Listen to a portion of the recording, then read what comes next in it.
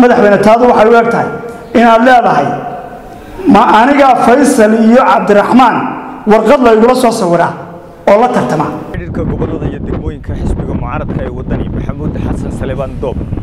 Oo warbaahinta kula hadleeyey xarunta xisbiga wadani ku leeyahay magaalada bici xarunta gobolka ayaa eeda u soo jeediyey madaxweynaha jamhuuriyadda somalilan muuse biixi cabdi iyo sidoo kale wasiirka arrimaha gudaha jamhuuriyadda somalilan maxamed kaahin axmed kaasoo uu ku tilmaamay inaanay wakhtigan loo jeedin inay la tago. Meelo kale islamarkaana loo jihaysanayo doorashada iyo sidoo kale dalka sidii looga saari lahaa xaaladdan uu hadda ku jiro. Xogayaha ayaa sidoo kale madax dhaqameedka somalilan ugu baaqay inay go'aan adag ka qaataan xukunka dhexdhexaadinta. Jamhuuriyadda somalilan ee xilligiisii sii dhammaanayo boqol iyo labaatanka habeen u hadhay inuu boqol iyo dhowr iyo tobanka habeen ay u hadhay inuu bal dalka xoogagaala noqdo dadka uu doonaya inuu xukumo kursiga ku sii fadhiyo. Inuu ogaado bal duruufta ay ku sugan yihiin. Waa madaxweynaha keliya ee intii uu xilka qabtay weli aan kormeer ummaddiisa dhexdiisa aan soo marin.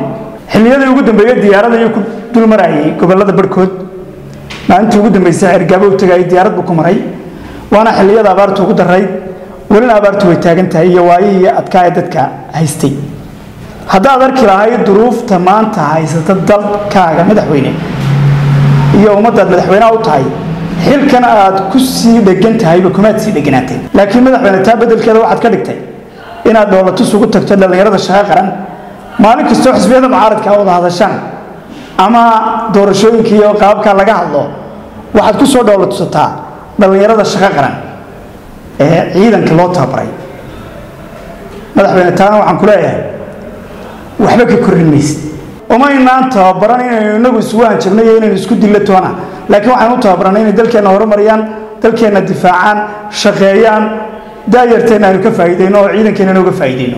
Maalin kastoo xaaladdu kugu yar kululaato oo xisbiyada mucaaradku ay kugu soo yar kululeeyaan waxaad u carartaa dhinaca shaqo qaran oo aad waxqabadna ummadda uga dhigayso dhoolatus iyo hanjabaadna aad ka soo dhex hanjabayso laakiin ka daabaan kulena madaxweyne.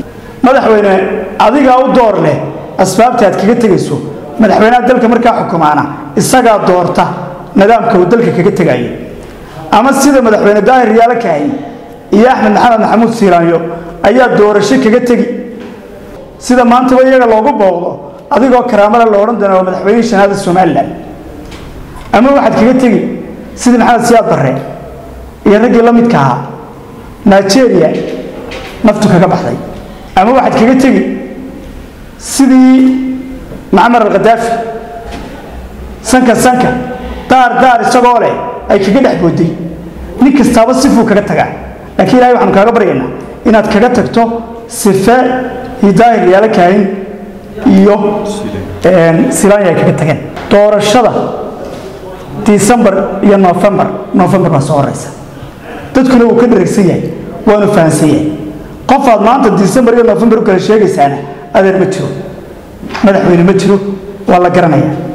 Marka waxaan ku leenahay madaxweyne doorashada qabo madaxweyne taadu waxay u eg tahay inaad leedahay ma anigaa faysal iyo cabdiraxmaan warqad laygula soo sawiraa oo la tartama. Waa lagugula soo sawiraya haddaad adigu u baahato. Haddaad xusniga kulmiyo cid kale u banaynaysana waad u bannayn.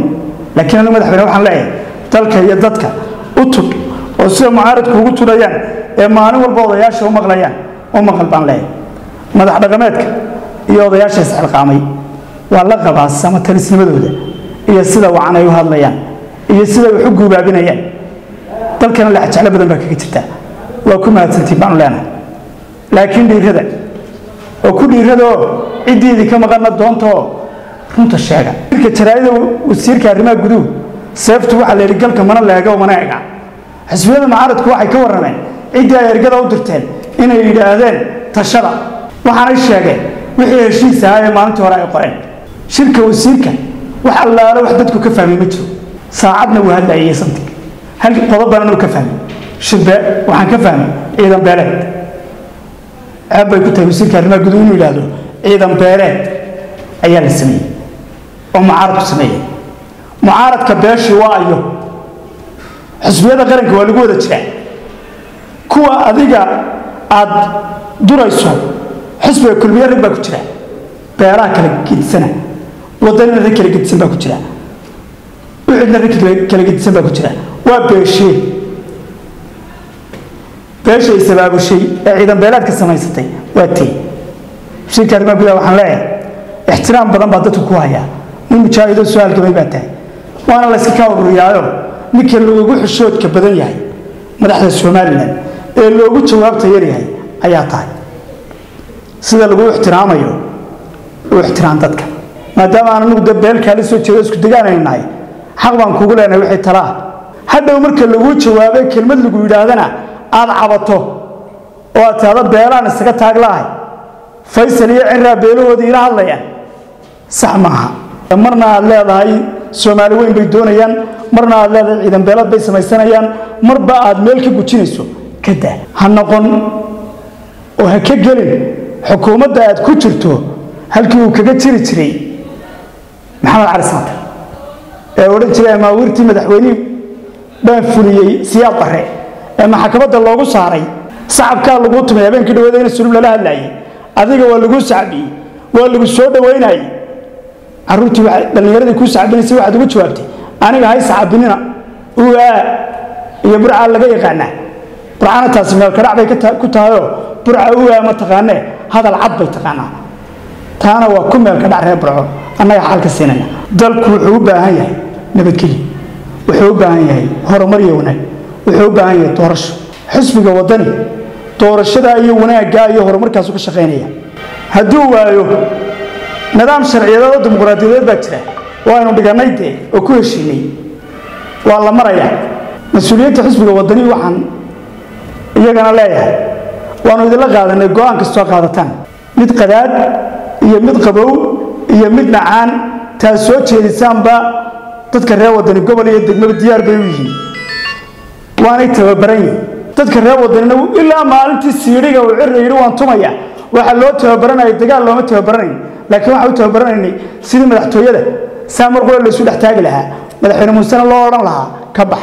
Maalintay gaadho muddaxileedkiisuu dhammaado tii sinalangaa ka dhici doonta. Haddaan heshiis deg deg ah laga gaadhin. Dadkuna waa tababaran yahay ku talagala ku abshira ku bushaaraysta